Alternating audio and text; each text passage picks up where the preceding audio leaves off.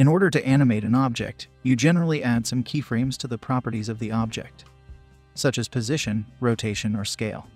Here we have a simple cannon, and its main movement was created by adding keyframes to the position of the control null and to the rotation of the wheels. But if you carefully observe the cannon, you also notice a slight random vertical movement due to the irregular ground surface. It would be hard and impractical to do that with keyframes. The best way to do that is by adding a noise modifier to the vertical axis of the object. First of all, you must have at least one keyframe. Now, open the graph editor. Select the property you want to animate, in this case the Z location of the null. Then, open the panel on the right and click on the Modifier tab. Now, add a noise modifier.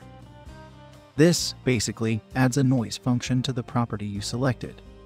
But the noise is too strong, so you have to reduce the strength factor and increase the scale one until you reach the effect you want. In this way, you have a random movement that you can easily adjust whenever you want, without having to deal with individual keyframes. You can apply this technique every time you need a random movement of an object,